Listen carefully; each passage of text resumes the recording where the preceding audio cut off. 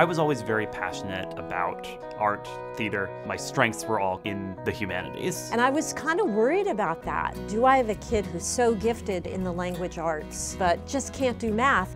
He's not well rounded. He's, you know, oh my gosh, what do we do? Sometimes we have students like Alexi who are clearly strong on the one side, but need balance. Greg had hired people who were actually gifted in teaching math. Which helped me do well on the tests I took to get into college. Mathnasium played a huge role in helping our son get into Yale. It was wonderful to send all four of my kids to Mathnasium. I should be a paid spokesperson for Mathnasium. Mathnasium. Changing, Changing lives lives through through math. math.